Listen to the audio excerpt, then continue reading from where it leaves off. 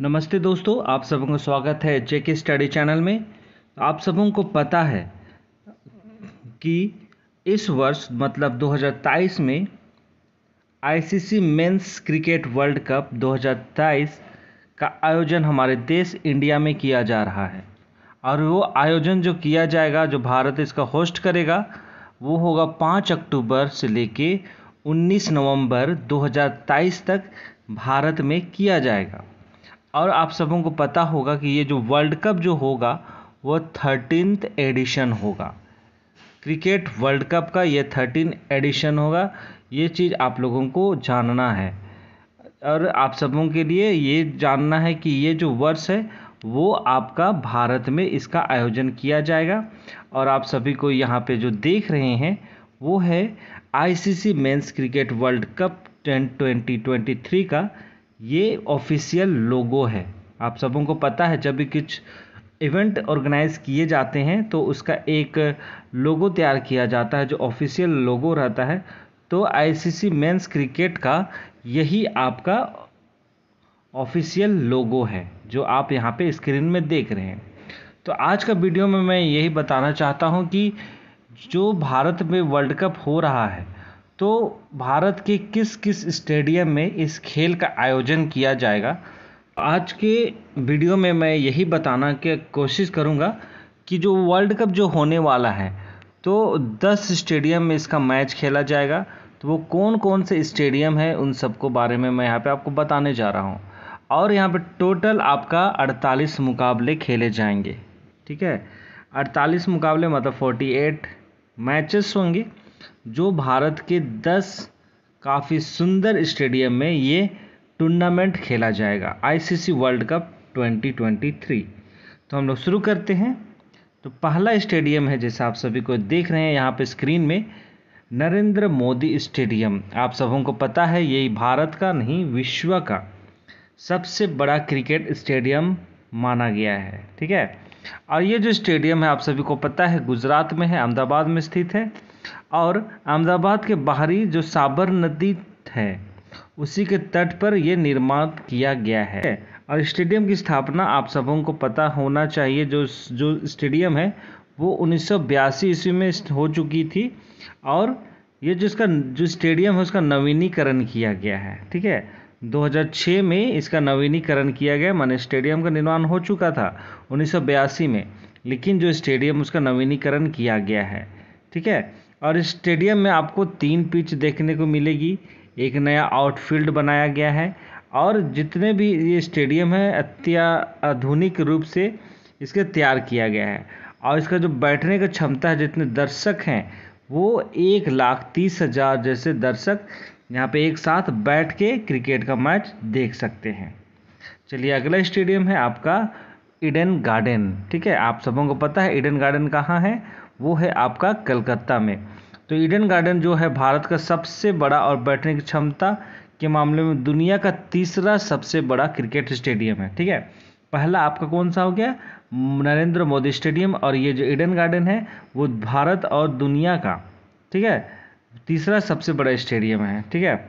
और ये जो कोलकाता में स्थित है, ठीक है? और इसमें जो बैठने की क्षमता रखी गई है, अस्सी हज़ार दर्शक यहाँ पे बैठ सकते हैं।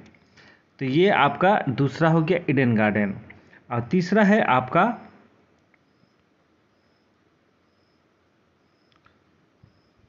तीसरा है आपका वन खेड़े स्टेडियम।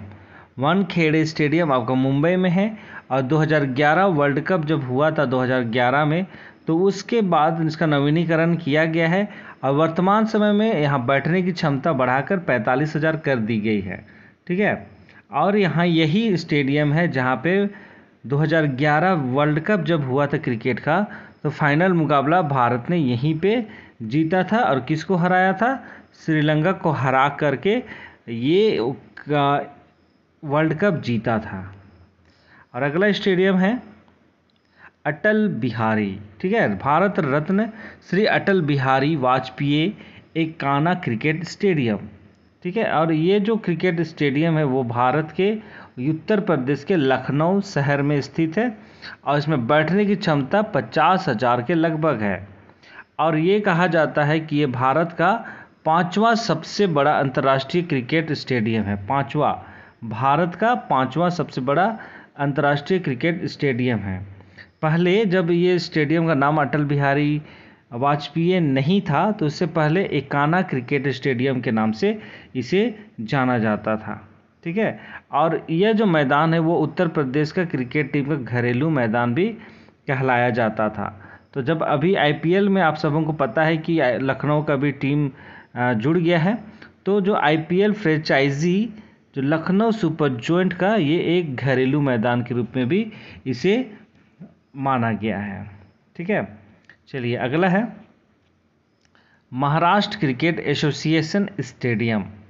Maharashtra का जो पुणे शहर है, वहीं पे ये क्रिकेट स्टेडियम स्थित है और इस स्टेडियम का संचालन आपका महाराष्ट्र क्रिकेट एसोसिएशन के पास है।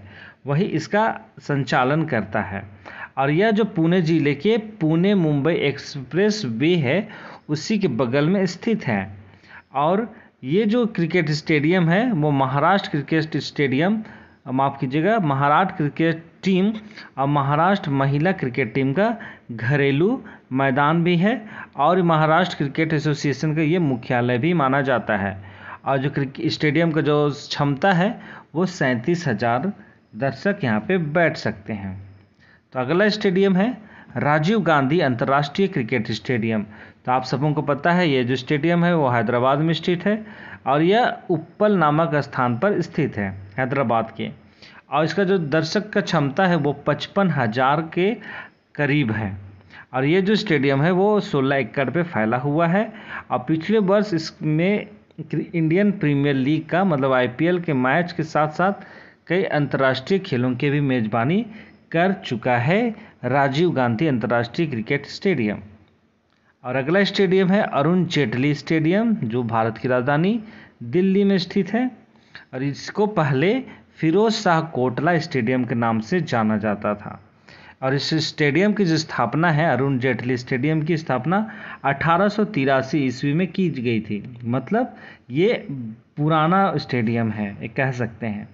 जब भारत आज़ाद नहीं हुआ था, उससे भी पहले इस स्टेडियम की स्थापना कर चुकी गई है। और इस स्टेडियम में पुनर्निर्माण किया गया है और और इसमें जो बैठने की जो क्षमता बताई गई है, वो पचपन हज़ार के लगभग बताई गई है। ठीक है? उसके बाद अगला स्टेडियम है आपका M Chinnaswamy stadium, Bengaluru. मतलब बेंगलुरु कहाँ है? आपका कर्नाटक में। तो कर्नाटक के बेंगलुरु शहर में ये स्थित है और इसमें एक मैच के दौरान लगभग चालीस हज़ार लोग बैठ सकते हैं। ठीक है? और चिन्ना स्वामी स्टेडियम 2000 से भारत का राष्ट्रीय क्रिकेट अकादमी भी है। और 2000 में बीसीसीआई द्वारा बेंगलोर को राष्ट्रीय क्रिकेट अकादमी के रूप में चुना गया है, ठीक है? तो ये एक स्टेडियम है जो बेंगलोर का है। यहाँ पर भी आपको क्रिकेट मैच जो है वो देखने को मिलेगा। अगला स्टेडियम है आपका हिमाचल प्रदेश क्रिकेट एसोसिएशन, ठीक है? Himachal Pradesh cricket association. आप सबों को पता है ये जो स्टेडियम है, वो आपका धर्मशाला में स्थित है। ठीक है? धर्मशाला आप सबों को पता है, हिमाचल प्रदेश में है। तो ये स्टेडियम का जो क्षमता है, वो तेईस हज़ार के लगभग है। और आप सबों को पता है, ये जो स्टेडियम है, विश्व का सबसे ऊँचा स्टेडियम कहलाता है। ठीक है? विश्व का सबसे ऊँचा स्टेडियम कहलाता है। और इसकी जो पृष्ठभूमि बताई गई है, धौलाधार पहाड़ श्रृंखला के रूप में बर्फ़ से ढकी है। अब पहाड़ के इस स्थल पर शांति को बढ़ाते हैं। एक और प्रभावशाली विशेषता इसका खुलापन और छोटे आकार की स्टैंड है। इसकी क्षमता लगभग पच्चीस हज़ार बताई गई है, लेकिन यहाँ पे आप क्षमता तेईस हज़ार यहाँ पे बताया गया है। ठीक है? तो जो स्टेडियम है, वो आपका इस प्रकार दिखाई देता है। ये है आपका धर्मशाला क्रिकेट स्टेडियम, जो हिमाचल प्रदेश क्रिकेट एसोसिएशन के द्वारा इसका संचालन किया जाता है। तो चलिए, आज के वीडियो में आप सबों ने जाना है कि जो क्रिकेट वर्ल्ड कप होने वाला है 2023 का, आपका 5 अक्टूबर से लेकर 19 नवंबर तक, इसका भारत के 10 क्रिकेट स्टेडियम में इसका मेज़बानी किया जाएगा। और हमारे लिए गर्व की बात है कि भारत इस बार होस्ट कर रहा है। लास्ट आपका होस्ट किया था 2011 में, ठीक है? तो चलिए आज के इस वीडियो को मैं यहाँ पे समाप्त करता हूँ। इसी प्रकार के नॉलेज पाने के लिए चैनल को जो लोग नए हैं, जो चैनल को सब्सक्राइब नहीं किए हैं, वो चैनल को सब्सक्राइब करना ना भूलें। तब तक मिलते हैं एक नए वीडियो के साथ। तब तक आप लोग इंतज़ार कीजिए और अपने लोगों का, अपने घर वालों का ध्यान दीजिए, खुद का ध्यान दीजिए। तब तक आप लोग ज़रूर ज़रूर इस नए वीडियो का इंतज़ार कीजिए। बहुत बहुत धन्यवाद।